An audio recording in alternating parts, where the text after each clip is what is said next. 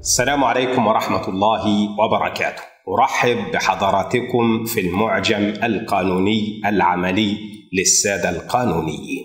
لفظة المحضر أو المحضر أو المحضر بأي صيغة كانت هي لفظة جذرها حاء ضاد راء أو الفعل الماضي حاض راء هذه المادة كثيرة الحضور كثيرة التداول كثيرة الترداد بين السادة القانونيين. المحضر هو تلك الوثيقة أو تلك الصحيفة التي تكتب فيها وقائع معينة بلغة معينة وأسلوب معين لها مقدمة ولها صلب ولها نهاية ولا بد من توقيع للشهود أو ممن قام بإعداد هذا المحضر. المحاضر كثيرة متنوعة كل مؤسسة أو كل سلطة لها محاضرها. وأبرز المحاضر عندنا هي محاضر سلطات الاستدلال وخاصة محضر التحريات محضر التحقيق لسلطة النيابة وخاصة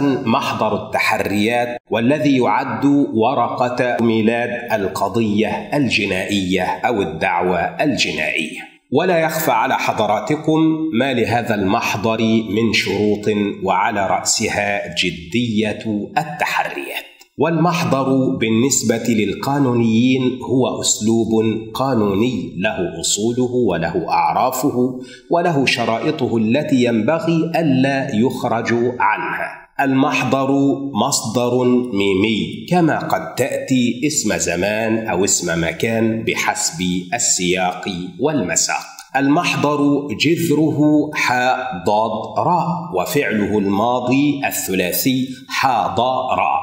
تقول حضر يحضر حضورا واسم الفاعل هو حاضر الحاضر مع المتهم. واسم المفعول هو محضور والصيغة هنا اسم مفعول للفعل اللازم حضر. الفعل الرباعي المتعدي هو أحضر. أحضر يحضر إحضارا فهو محضر وهو الآخر محضر.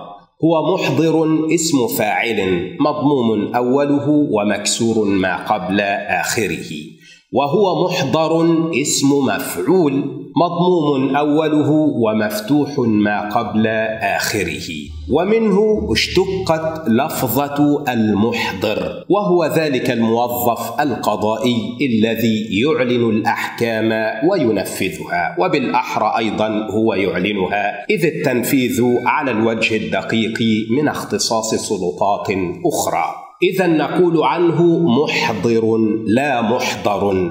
وقد تأتي في بعض السياقات أنه محضر أي حاضر شاهد بما وقع وذلك في سياقات عدة. جمع محضر محاضر. تقول محاضر التحقيق محاضر التحريات. وجمع محضر محضرون. أو محضرين بحسب السياق في حال الجر والنصب. وكذلك فإن المثنى منه محضران أو محضرين بحسب سياقها. تقول محضران لا محضران. فالمحضر في ساحة القضاء هو الذي يجلب ليمثل أمام القاضي فهو محضر. فتقول محضرون ومحضران ومحضرين ومحضرين بحسب سياقها القانوني. دمتم فائقين متألقين والسلام عليكم ورحمة الله وبركاته.